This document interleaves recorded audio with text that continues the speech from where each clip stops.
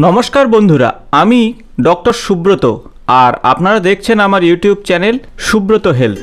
কিডনিতে পাথর বা স্টোন হওয়া এটি একটি পরিচিত সমস্যা।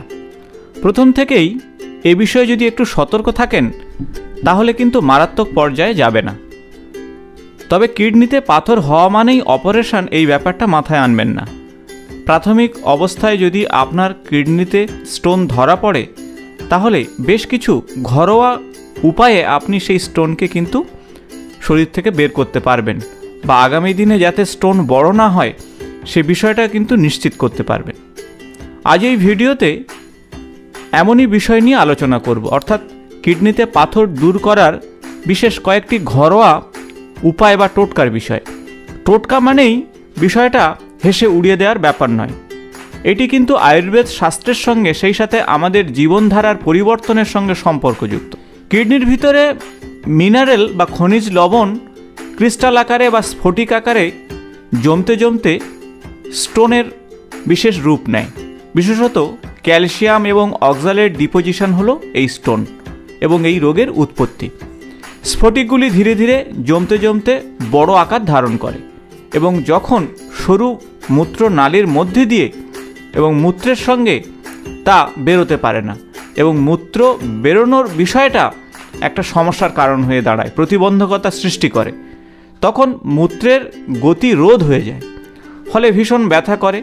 মূলত শরীরের যে জল আপনি খাচ্ছেন, সেই জল শরীর থেকে সহজে বেরোতে পারছে না এবং শরীর থেকে বেরোনোর সময় অত্যন্ত কষ্ট হচ্ছে এবং একটা ব্যাক ফ্লো আপনার শরীরে সর্বদা থাকবে। তার ফলে কিডনির উপরে ধীরে ধীরে প্রেশার তৈরি হবে। জলের অভাবে লবণ এবং সেই সাথে মিনারেল সহ ইউরিনের যে উপাদান, সেগুলো আস্তে আস্তে শুকিয়ে এবং স্বাভাবিক ভারসাম্য সেগুলো আস্তে আস্তে বদলাতে থাকবে আপনার রক্তের মধ্যে।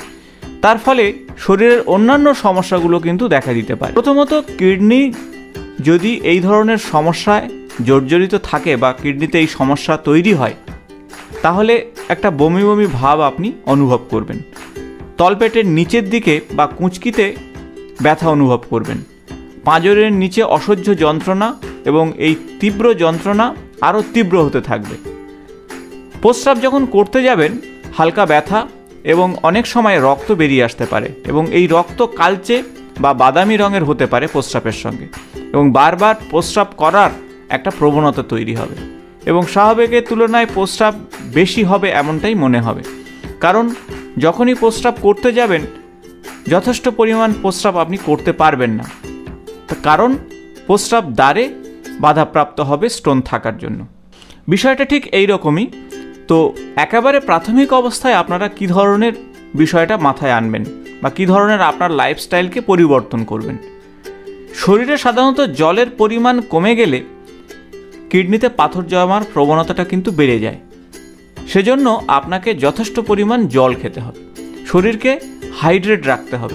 আর তার জন্য প্রত্যেক দিন আপনারা সাত থেকে আট গ্লাস করে অবশ্যই জল খাবেন সুস্থ শরীরের ক্ষেত্রে।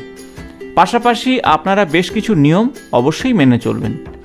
প্রথমত জলের কথা আপনাদের বললাম, তাতে ছোট ছোট স্টোন আপনার ইউরিনের সঙ্গে বেরিয়ে যাবে। তুলসী একটি অত্যন্ত গুরুত্বপূর্ণ ভেষজ উপাদান।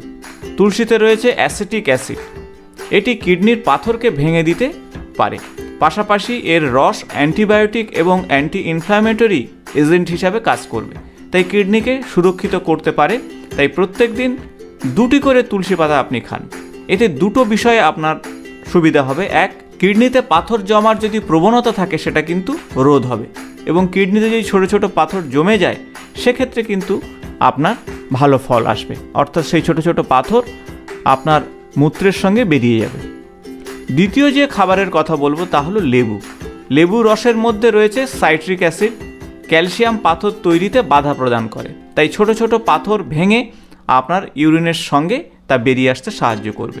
তাই সকালে আপনারা অবশ্যই জলের সঙ্গে লেবুর রস মিশিয়ে খাবেন। তৃতীয় যে খাবারের কথা বলব তা হলো ডালিম। অ্যান্টিঅক্সিডেন্টে সমৃদ্ধ ডালিম কিডনিকে সুস্থ রাখবে এবং কিডনির পাথরকে অবশ্যই গলাতে সাহায্য করবে এবং শরীরের টক্সিনকে দূর করতে সাহায্য করবে। তাই আপনাকে বলব, আপনার খাদ্য তালিকাতে অবশ্যই ডালিম, রস বা সরাসরি ডালিম আপনারা খেতে পারেন। অ্যাপেল সাইডার ভিনিগার আপনারা কম বেশি সবাই শুনেছেন, কিডনিতে পাথর দ্রবীভূত করতে সাহায্য করবে এবং ব্যথা কমাতে সাহায্য করবে। এবং সেক্ষেত্রে বলব, হালকা গরম জলের সঙ্গে এক থেকে দু চামচ আপনারা অবশ্যই অ্যাপেল সাইডার ভিনিগার খেতে পারেন। তবে পরপর পনেরো দিন খাওয়ার পরে আপনারা বেশ কিছুদিন বন্ধ রাখবেন, আবার আপনারা খাবেন। আপনি যদি ডায়াবেটিসের মধ্যে থাকেন বা ডায়াবেটিস রুগী হন, ইনসুলিন নেন, তাহলে এটি খাবেন না। কালো জিরের নাম আপনারা সবাই শুনেছেন, কালো জিরের মধ্যে থাকা যে উপাদানগুলো রয়েছে, তা ক্যালসিয়াম অক্সালেট দ্রবীভূত করতে সাহায্য করে। তাই এক কাপ গরম জলের সঙ্গে আধ চা চামচ শুকনো কালো জিরে আপনি দিয়ে দিনে দুবার পান করতে পারেন। এতে আপনি কিন্তু সুফল পেতে পারেন। অনেক সময় আপনারা টয়লেট অর্থাৎ প্রস্রাব করার সময় ফেনাযুক্ত এবং দুর্গন্ধ হতে পারে। সেক্ষেত্রে জানবেন যে কিডনির পাথরের জন্য আপনার মূত্রাশয় বা আপনার রেচনতন্ত্রে কোনো না কোনোভাবে ইনফেকশন তৈরি হয়েছে। সেক্ষেত্রে আপনারা অবশ্যই জলের পরিমাণটা বাড়িয়ে দেবেন। এবং প্রাথমিক যে চিকিৎসার কথাগুলো বললাম এগুলো আপনারা অবশ্যই করবেন। মেথি বীজ, মেথির বীজ কিন্তু কিডনির পাথর প্রতিরোধ করতে সাহায্য করে। তাই আপনারা মেথির বীজ ভিজিয়ে প্রত্যেক দিন আপনারা খেতে পারেন এবং এক থেকে দু চামচ মেথির বীজ, শুকনো বীজ আপনারা জলের মধ্যে, এক কাপ জলের মধ্যে দিয়ে দিন এবং হালকা ফুটিয়ে ঈষদুষ্ণ সেই জল আপনারা অবশ্যই ছেঁকে খান। সেক্ষেত্রে আপনারা ভালো ফল পাবেন। আর এগুলো করার পরেও যদি সমস্যা বাড়তে থাকে, অবশ্যই আপনার ডাক্তারবাবুর সঙ্গে পরামর্শ করবেন এবং প্রয়োজনে ডাক্তারবাবুর ওষুধপত্র অবশ্যই খাবেন। মূলত আমাদের কিডনিতে ক্যালসিয়াম স্টোন, ইউরিক স্টোন এবং স্টারভেটিভ স্টোন এবং সিস্টাইন স্টোন সাধারণত জমা হয়।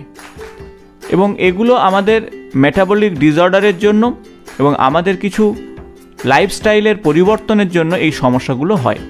মূলত বায়োল সিন্ড্রোম যদি থাকে, ইউরিনারি ট্র্যাক্ট ইনফেকশান বা মোটা হয়ে যাওয়ার যে প্রবণতা এগুলো থাকলে কিডনি স্টোনের রিস্ক ফ্যাক্টরটা অনেক বেশি কাজ করে। অর্থাৎ তাদের বেশি কিডনি স্টোন হওয়ার সম্ভাবনা থাকে। তাছাড়া বেশ কিছু মেডিসিন কন্টিনিউ খাওয়ার ফলে কিডনি স্টোন কিন্তু বাড়তে পারে। বিশেষত ডিকনজেশন টাইপের medicine, diuretic medicine, protease inhibitors, steroid, chemotherapy drug এবং ইউরিকোসুরিক ড্রাগ যদি আপনারা দীর্ঘদিন খান, সেক্ষেত্রে কিন্তু কিডনি স্টোন হওয়ার প্রবণতা অনেকটাই বাড়তে পারে। তাছাড়া আপনাদের বলব, ভিটামিন সি সাপ্লিমেন্ট খুব বেশি খাবেন না। কারণ ভিটামিন সি যদি বেশি খান, সেক্ষেত্রে কিন্তু আপনার কিডনিতে স্টোন হওয়ার প্রবণতা বাড়বে। তাই কোনো কিছু বেশি খাওয়া উচিত নয় এবং প্রাণীজ প্রোটিন অবশ্যই আপনারা কম খাবেন। কারণ ইউরিক অ্যাসিড যদি শরীরে বেশি থাকে, সেক্ষেত্রে ক্যালসিয়াম অক্সালেট স্টোন আপনার কিডনিতে জমা হবে। তাই রেড মিট থেকে দূরে থাকুন এবং অধিক প্রোটিনযুক্ত মাছ, তাছাড়া যারা নিয়মিত পোলট্রি, গরু কিংবা শুয়োরের মাংস খান, তাদের ক্ষেত্রেও কিন্তু কিডনি স্টোন হওয়ার প্রবণতা অনেকটাই বাড়বে। এবং অবশ্যই যাদের কিডনিতে স্টোন হওয়ার প্রবণতা রয়েছে, তারা অক্সালেট রিচ খাবারগুলো এড়িয়ে চলুন।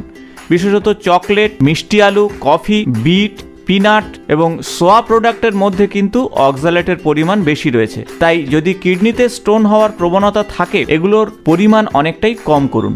এবং লেস সোডিয়ামযুক্ত খাবার অবশ্যই খান। ক্যালসিয়ামযুক্ত স্টোন যদি আপনার কিডনিতে জমা হয়, সেক্ষেত্রে সোডিয়াম কম আছে এমন খাদ্যগুলি অবশ্যই খাবেন। বিশেষত প্রসেস ফুড একেবারেই খাবেন না এবং ক্যানের মধ্যে যে সমস্ত স্যুপ আসছে বা ভেজিটেবল আসছে, সেগুলো খাবেন না।